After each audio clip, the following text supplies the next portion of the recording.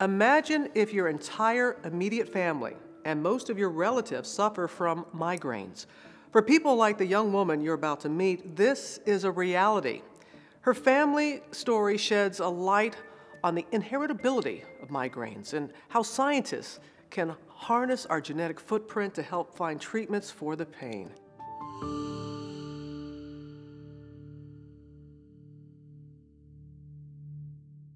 Migraines have completely controlled my life. I hate to say it, but it's true. Everything I do is, is planned around the migraines.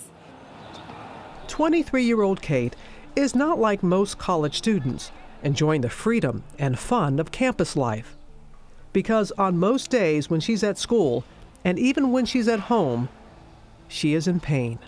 If I go out, I have to very carefully. I have water, I have food, I make sure that I've rested beforehand uh, and I have an escape route if I, if I start to feel terrible. Um, and I don't really go out that much because it's hard. It's hard to be around a lot of people, so I'm very um, reclusive. so it's impacted, had an effect on your relationships and friendships. Yeah, yeah. Um, it's too difficult to like go to a party. That's like just not fun for me. So I spend a lot of time by myself. Kate's struggle with migraines is one her mother, Jill, knows all too well because migraine runs in her family. I have migraine, my mom has migraine.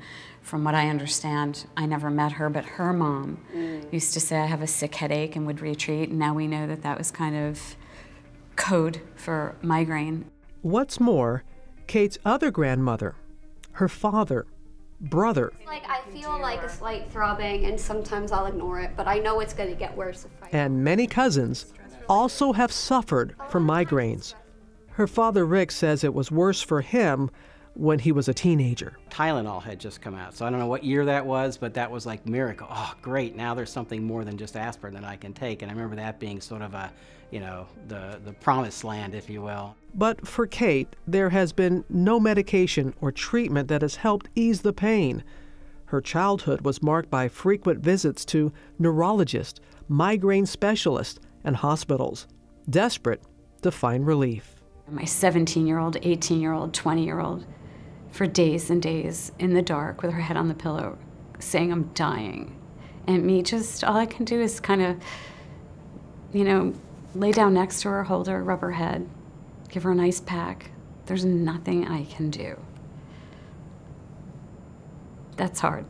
Today, Kate says she lives with migraine pain 24 7. I guess we've uh, come to describe it as like a dimmer switch. So it, you can, it goes up, sometimes it's worse, sometimes it's better, but it's always on. Always on. How do you deal with it? How do you cope with it? I don't know. I, I'm, I guess I chose one thing to focus on, which for me is school, because I like learning. Um, so I cope by being really good at school and sort of forgetting about everything else. Kate's quick trips to and from school most often leave her recuperating at home in the dark, unable to get out of bed. So, why are Kate's symptoms so much more severe than the rest of her family's? A recent publication actually looking at the blood of over 375,000 people, um, of which tens of thousands had migraine, actually found that there were 38 genes, variations in 38 genes that increase the risk of developing migraine. She may have inherited variations in multiple genes, which when added together allow the disease to be expressed in a much more severe way. It is the perfect storm. Dr. Dodick says a child has a 50% chance of inheriting migraine if one parent has the familial form of the disease. That jumps to as high as a 100% chance if both parents have it, as in Kate's case. How do you deal with people who don't understand? If you have, it's an illness. And any other illness, if you are going through cancer like I did and lost my hair, people can understand that. But there seems to be, as your mother was saying earlier, oh, come on, just tough it out. Tough, tough yeah. it out, tough it out. So, yeah. how do you handle it when, and make people understand? No, it's not that way. Uh, honestly, I don't really tell people because um, I can tell when somebody thinks I'm lying. And I don't want to, you know, subject myself to that. Migraine right now is synonymous in the, in the public with a headache. Okay, maybe it's a bad headache, but it's just a headache. Well, it's so much more than a headache. It's an inherited neurological disease with functional and structural consequences on the organ that's most affected, which is the brain. For now, Kate is focusing on something else she says she has inherited from her family resilience. Buoyed by their support and love, she graduates from college this year with a degree in psychology. She has already interned with a neurologist, helping research and write papers on migraine. What kind of amazes me about her is that most of her doctors will say people in her condition don't get out of bed. And yet Kate, is, as much as she suffers, has managed to do a lot. What is your message for somebody seeing this who is walking in similar shoes as you?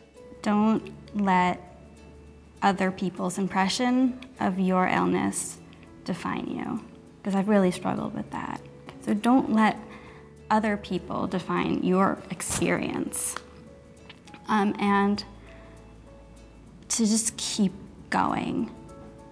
Just keep going.